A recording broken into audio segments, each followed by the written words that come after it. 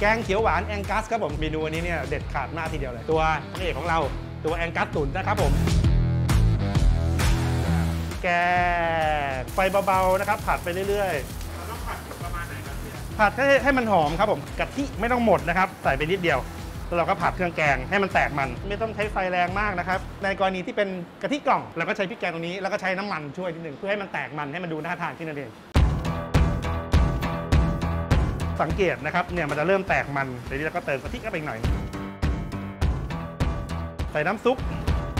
เรียบร้อยแล้วเราก็จะปรุงรสชาติกันเครื่องปรุงที่เราใช้นี่คือเป็นน้ำปลา น้ำตาล ท่านไหนไม่สะดวกที่จะใช้น้ำตาลปี๊บใช้น้ำตาลทรายแทน น้ำตาลปี๊บหน่อยนึงนะครับ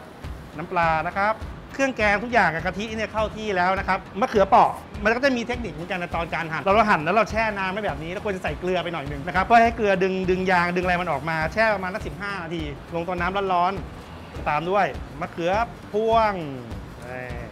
ต้มประมาณสักสองสามนาที ให้มะเขือปอดเดี๋ยวให้มันนิ่มนิดหนึ่งรสชาติจะได้ทานขึ้นอร่อยขึ้นนั่นเองนะครับเนื้อ 3 ชั้นของเราเนี่ยลงได้เลย ขาดไม่ได้ในแกงเขียวหวานโหระพานั่นเองพริกแต่งสีให้สวยงามอ่าทีนี้ เดือดพร้อมทานแล้ว เสร็จเรียบร้อยแล้วนะครับ กับแกงเขียวหวานเนื้อแองกัสตุนครับผมครับ